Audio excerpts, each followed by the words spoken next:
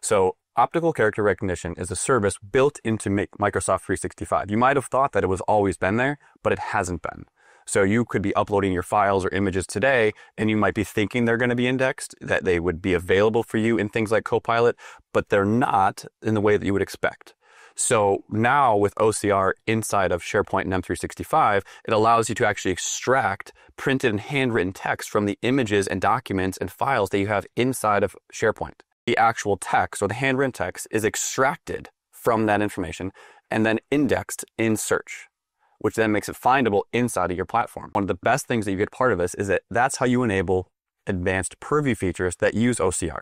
So if I'm sending an email that let's say has a receipt that has uh, PII in it or uh, proprietary information, and you have policy set up that would allow you to detect that sensitive information when you enable OCR, the purview features now can be enlightened by that information to allow you to find that information in your DLP policies to help protect your organization.